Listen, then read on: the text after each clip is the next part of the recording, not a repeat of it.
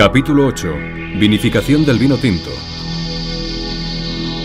Entendemos por vinificación en vino tinto aquella que se fermenta el mosto en presencia de los ollejos. El vino tinto es un vino de maceración y está constituido por las sustancias del zumo de la uva, pero también por sustancias que se encuentran en la parte sólida y se transmiten al mosto mediante la maceración.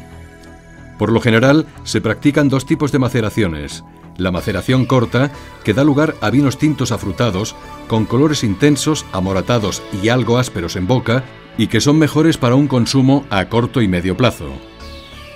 Y por otro lado, la maceración larga, en aquellos vinos tintos aptos para guardar. Este proceso favorece el paso al vino de sustancias, fundamentalmente taninos, que evolucionan bien con la posterior crianza, llegando a producirse vinos de gran calidad y bouquet con unos aromas y sabores característicos. Las operaciones fundamentales de la fermentación en tintos siguen este orden. Molienda. Encubado. Remontado. Fermentación alcohólica. Fermentación maloláctica. Descube. Prensado. Crianza. El trasiego. Embotellado. Molienda. Consiste en el despalillado del racimo, por la cual se separa el grano del raspón. En función de qué tipo de vino queramos, el despalillado es diferente. Puede ser total, parcial o incluso sin despalillar, por ejemplo, en los vinos de maceración carbónica. Encubado. Una vez realizada la molienda, la pasta del ollejo junto con su zumo, se irá trasvasando a los depósitos donde se realizará la fermentación. Cuando se está llenando el depósito, es conveniente dejar la parte de arriba sin llenar para facilitar las operaciones posteriores y evitar el derrame del líquido. En la práctica, los depósitos se llenan hasta una quinta o sexta parte de su volumen para formar lo que se llama el colchón del anhídrido carbónico para evitar la acetificación del sombrero. El remontado es una práctica de gran utilidad en la elaboración de vinos tintos y sobre todo para vinos destinados a la crianza. La función de este proceso es la de que este sombrero se vea regado por el vino que hay debajo. En el momento que se ha llenado el depósito, se debe realizar un remontado de homogeneización de la pasta que constituyen los ollejos con su propio caldo para poder darle el máximo de aromas y color. El remontado tradicional se hace sangrando mosto por la parte inferior del depósito y haciéndolo caer a través de una bomba a la parte superior del mismo.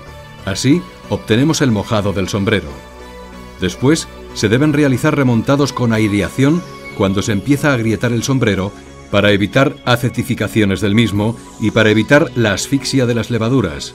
Se deben de realizar uno o dos diarios remontando a un cuarto o un quinto del volumen del depósito. Actualmente, en Maset del Lleó, disponemos de unos depósitos autovaciantes, los cuales llevan un sistema muy sofisticado de remontado, con bombas programadas para realizar esta tarea. Los remontados iniciales favorecen la extracción de la materia colorante y los polisacáridos pegados a la pared celular de la uva, mientras que los remontados finales favorecen la extracción de componentes astringentes de la pepita que en determinadas prácticas enológicas resultan de interés, por ejemplo, en los vinos de crianza.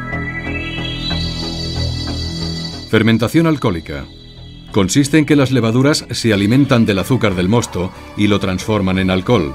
Como materia resultante se forma dióxido de carbono que quedará encima del vino y formará una capa que evitará que el vino entre en contacto con el oxígeno.